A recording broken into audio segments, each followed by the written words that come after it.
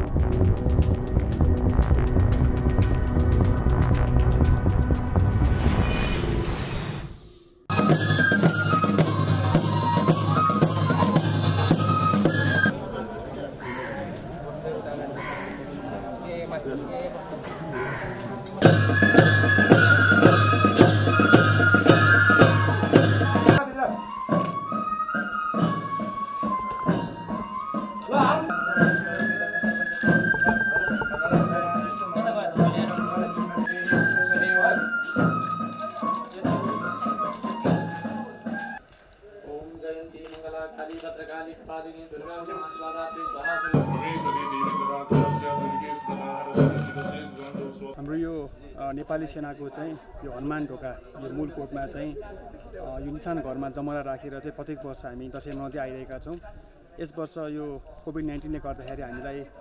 केही समस्याहरू परे पनि हामीले त्यो कोभिड नाइन्टिनको प्रोटोकललाई ध्यान राखेर चाहिँ यसपालि हामीले नियमित रूपमा प्रत्येक वर्ष हुने पूजाआजालाई चाहिँ हामी निरन्तरता दिएका छौँ र चाहिँ कोभिड नाइन्टिनको प्रोटोकललाई ध्यान गरेर हामीले चाहिँ यो आफ्नो नेपालीको महान चाड यो जमरा राख्ने कार्यलाई चाहिँ यस वर्ष पनि हामीले चाहिँ